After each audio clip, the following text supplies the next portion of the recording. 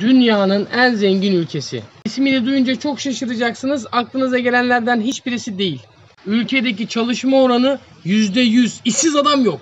Ülkenin gayri safi milli hasılası yıllık 139 bin dolar. Düşünün bizim şu anda 8 bin dolar. O ülkeye geçmeden önce şuradan güzel bir takip alalım. O ülkenin ismi Makua. Eski bir Portekiz kolonisi olan Makua 1999 yılında tekrardan ana kara Çin'e bağlandı.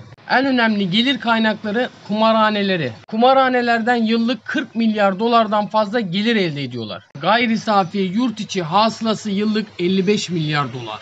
2020 yılında Katar'ı da geride bırakarak milli gelirde birinci sıraya yerleşti. 143 bin dolar kişi başına düşen milli gelir. Çalışma oranı %100. Herkes çalışıyor. Çalışırken zenginsin. Emekli olduğunda da seni bırakmıyorlar. Emekli maaşın da 10 bin dolar aylık. Ve ekstradan ülkede yaşayan herkese maaşının dışında da aylık 1245 dolar tasarruf ikramiyesi veriyorlar. Yani düşünsenize sen gittin 15 bin dolar para alıyorsun. Biz de yaşıyoruz işte. Heh, çok iyiyiz. Takip etmeyi unutmayın.